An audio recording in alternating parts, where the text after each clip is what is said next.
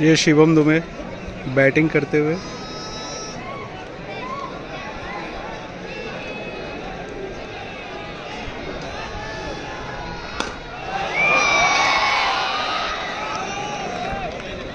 कराके का शॉट।